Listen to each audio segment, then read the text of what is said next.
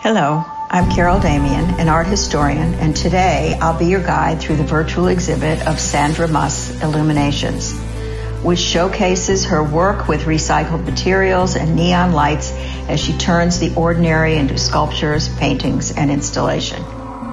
We start with open doors, or what appear to be doors, some hanging like portals on the wall. So walking into the space is like walking into a magical place.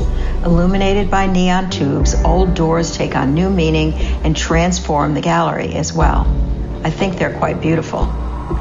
She uses the purity of light in direct contrast to the roughness of ordinary materials. That changes their meaning on many levels. One of my favorite pieces is a large work called Rising. It is made of over 30 wooden trays that attracted her because of their beautiful patina.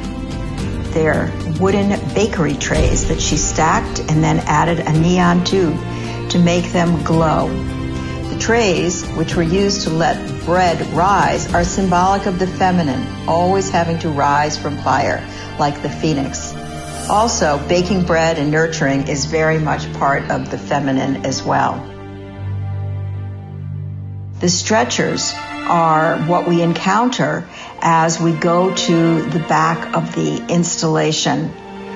Real things that have multiple meanings, and we are left to consider what they are and what the words refer to. Military, hospitals, wounded. Who are the victims? Where are they now?